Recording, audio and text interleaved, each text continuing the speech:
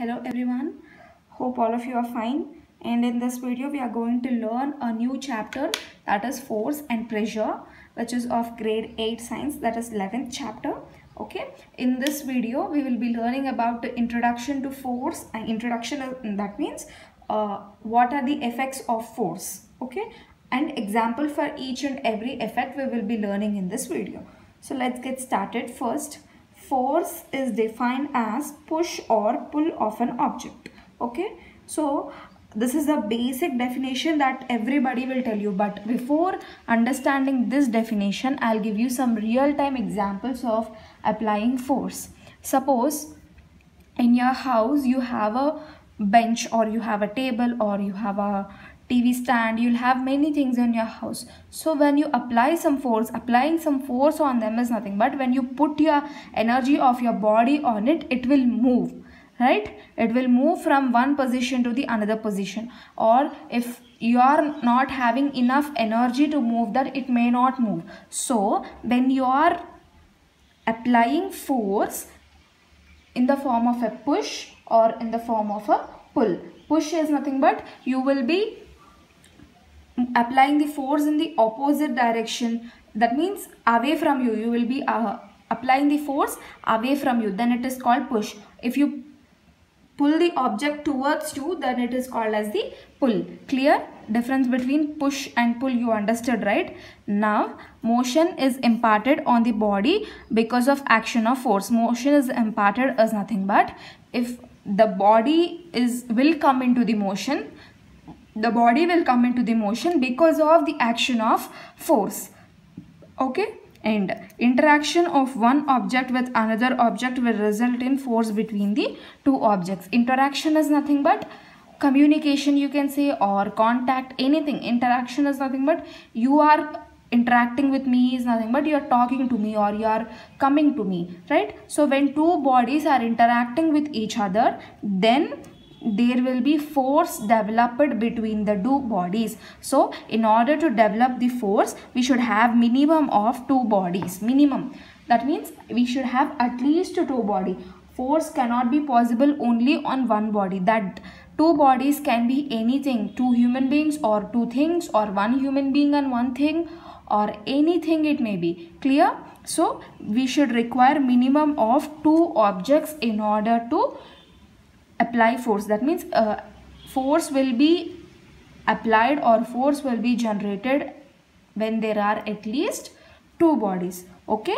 Force is nothing but push or pull of an object is called as the force. Okay? Now let us see some examples of forces. See in this picture here is the car and here is the person. There is no interaction between the car and the person. So the car will not move. Let us uh, think that this car is not moving. The engine of the car is not working or there is some trouble to the car okay? So the car is not moving. The person just will just simply stand behind the car then the car will not move. If he is applying some force on the car if he is trying to push the car then the car will move. Clear? So this is an example of applying force okay so here when there is no interaction between the car and the human being, there is no force applied. So there is no change in motion of the car. When he is applying some force, then only the car is said to be in motion. Then only the car will move. Clear? So this is about the example of force and the another example here we have two girls and two girls let us let us see they are fighting with each other because of some issue. And this girl is applying force on this girl and this girl is applying force on this girl right? They are applying force on each other. In the opposite direction they are applying force on each other. So here also we have two human beings right? And here they are pulling each other. So in this case also the force is being applied the force which is being applied is pull. And in this case also we have two human beings. And the next example is here we have a human being and he's a farmer let us think. And here we have a bull. So he is trying to pull the bull towards him. And this bull is trying to pull itself from away from this human being right? So in this case also we have two objects. So what we have seen from all these examples is we require a minimum of two objects in order to apply force between them. In order to develop a force between them we need at least two objects. Clear? Without two objects at least of two objects we cannot develop force among two bodies. Clear? The next so next uh, the next concept we have is force and direction of motion. So in this concept we are going to learn how force will affect on the direction of motion of the object. Okay? So let us see now.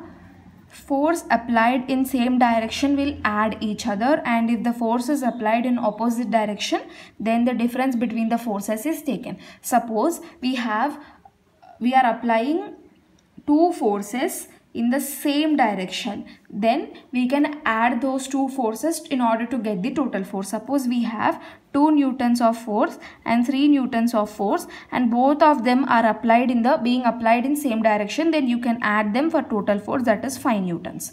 Okay? And in some cases if you have opposite directions then you have to subtract them. Subtract them you, the actual word is difference. Difference is nothing but what is the difference between difference and subtraction means in difference you will be subtracting the larger quantity minus smaller quantity. But in subtraction in whichever order they give you you have to follow the same order. Suppose if he said subtract 2 and 3 then it is nothing but 2 minus 3 you will get minus 1 suppose if he asked you to find the difference between 2 and 3 then you can subtract 3 minus 2 okay? If he is asking you difference then you can do as you wish. If he is asking you to subtract you have to follow this method only. So in the same way here difference means you have to subtract the larger quantity minus smaller quantity. So 3 newtons minus 2 newtons you have to do. Okay? Clear? Okay. Now so you understood force and direction of motion so force is sometimes applied in the same direction and sometimes force is applied in the opposite direction. Clear? Suppose when you are uh, playing a cricket game then you will be applying force with a bat on the ball in the opposite direction. If the ball is coming in this way, you will be applying force in this way with your bat, right? So that is an example for opposite direction. And example for same direction is when you are trying to move a table or when you are trying to move a heavy object, you will be or let us take an example of football game for more clarity right? In order to move it towards the goal you will apply the force in the same direction. If you apply the force in the opposite direction then what happens? The goal will go and hit the opposite team right? So in the same way there are, you can apply the force in the same direction of the object or you can apply the force in the opposite direction to the object also okay the second concept is force and state of motion. So in this concept we are going to learn what is the relationship between the force and state of motion. How of the force is going to change the state of the motion of the object. Okay?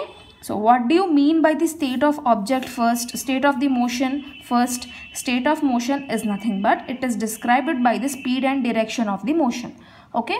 So the state of motion of an object can be described by speed and direction. So we have two states. The first state is motion and the second state is rest. Okay?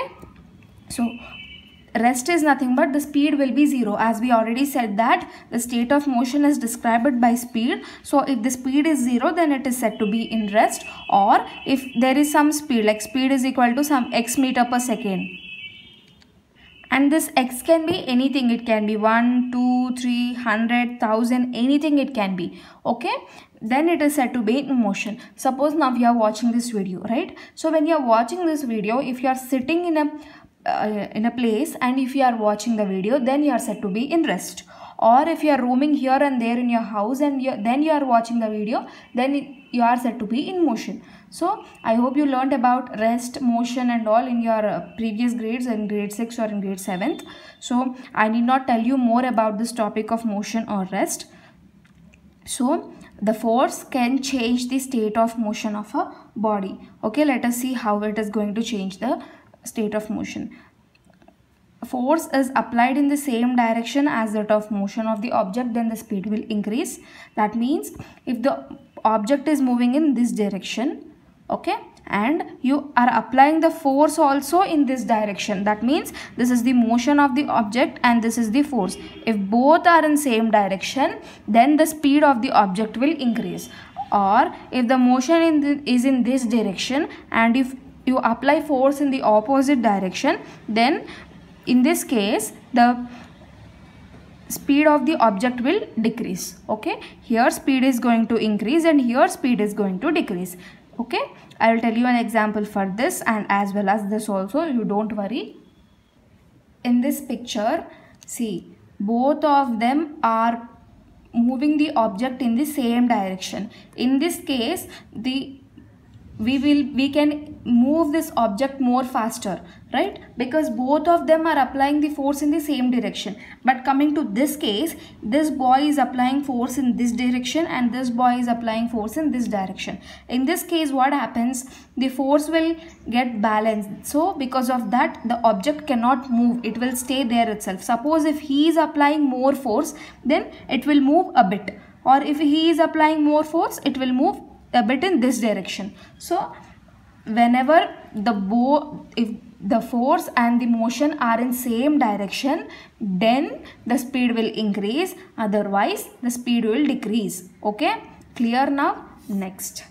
So force cannot change the state of motion always. Now what just now i said you that force can change the state of the motion of the body. But I am also telling you that force cannot change the state of the motion always. That means there is not there is no compulsion that always the state of motion of the body has to be changed. Sometimes it we may or we may not change. Suppose you are applying force against the wall. You are trying to push the wall. Can you push the wall? How much ever energy or how much ever force you put on the wall with your hand you cannot move the wall in that case the state of motion of wall is not being changed the wall the wall is initially it is in rest right so after applying the force also we are not able to move the wall that means the wall is in rest even after applying the force also in this case what can you say force will not always change the state of the motion. Force can change. Here we have the word can. It is not must, right? If it is must, we have to tell that in all the cases the direct the state of motion should be changed. But it is not must. It is can. So in some cases the state of motion of the body will get changed and in some cases the state of motion of the body will not change. Okay? Clear? See, if you are not able to understand anything, feel free to comment your suggestions in the comments so that I will see all your comments and I will give reply and I'll try to change the change my teaching style. Clear? If you are not able to understand, feel free to give your opinion in the comments. Okay? So now force and shape of an object. Now let us see how force is going to change the shape of an object force can also change the shape of an object. An example for this is when you are playing with a rubber band, when you expand it, it will become bigger in size, right? And when you leave it, it will become smaller in size. So the shape of the rubber band is being changed and you can make many shapes with rubber band. You can make a circle, you can make a triangle, you can make a rectangle, you can make many shapes with it, right?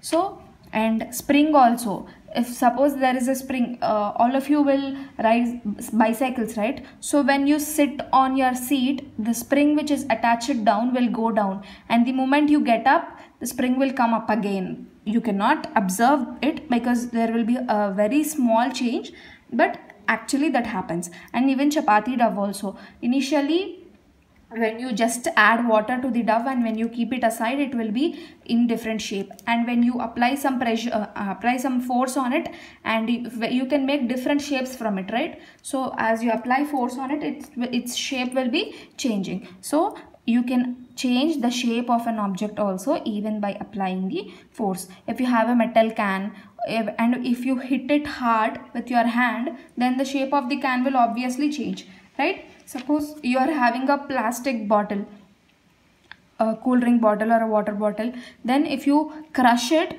the shape of the plastic bottle will change. So all these are examples for force and shape of an object. But there is no uh, compulsion it is not mandatory that force will always change the shape of the object. Sometimes force may change the shape of object sometimes it may not. The example is again the same wall if you apply the force on the wall the shape of the wall will not change right? It will remain as it is. Until and unless you beat a wall with a hammer or with some machine the shape of the wall will not change right? So this is these are the examples for force and shape of an object. So in, in the in the end let us see the conclusion of the video.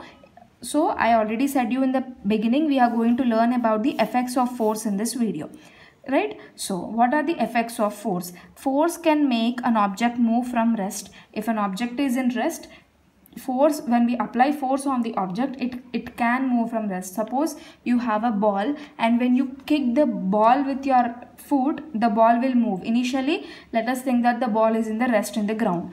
So the ball is simply lying there. It is not moving that means it is said to be in rest. And when you go and kick it it will obviously move. It will obviously start moving right? So it is going into the state of motion from rest. So you can make an object move from the rest. And the second effect is it can change the speed of the moving object. Suppose uh, you are walking and somebody comes from the back and they will apply some force on you. Then you will move more faster. Then you will walk more faster right?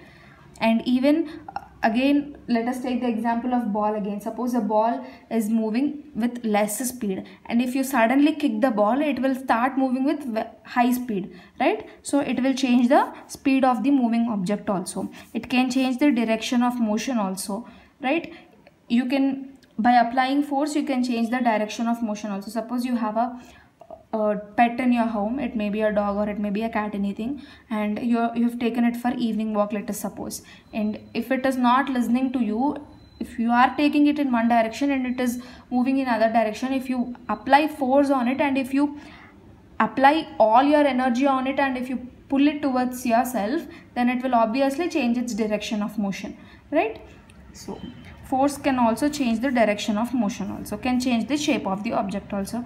I just uh, i gave you examples for shape of the object just now clear? So all these are the effects of the force. If somebody asks you to list out the effects of force you can say force can make an object move from rest force can change the speed all these effects you can say but can cause some or all of these effects. Force can have some of these effects. That means only this or both of this or three of this or all of this also right? So and in some cases we may not find even one effect also. Clear? So this all that's all for this video. In this video whatever we have learned is effects of force. And what is force? Push or pull of an object is called as force. And we also learned about effects of force right? So in the next coming videos we will be learning about types of force. We, ha we have two types of force contact forces and non-contact forces. And in the next coming videos we will be learning about the pressure also I'll explain you each and every topic. Don't worry. If you have not yet subscribed to my channel, do subscribe and keep following for more educational videos. They'll help you a lot. If you're not able to understand what I'm telling you or what I'm teaching, let me know in the comments so that I'll change. And if you want me to include any other topics or any other subjects, let me know so that I'll do it for you for sure. And if you have any queries or if you want me to suggest you like ma'am uh, make a video in this way or in that way then feel free to give it in the comments. I'll read each and every comment. I'll reply to each and every comment or if you're having any doubts ask in the comments. I'll definitely clarify your doubt. And if you have understood whatever i've explained in this video just hit the like button and don't forget to share it with your friends. If you want any notes or any pdf or if you want to contact me personally in order to clarify any doubts i'll give you the link of the whatsapp group down in the description. You can click on the group link and you can join the group and there I'll give you all the notes or all the PDFs that you want. Clear? And that's all for this video guys. And if you want me to include any other subjects or any other topics, let me know in the comments. I'll do it for you. Thank you for watching this video guys.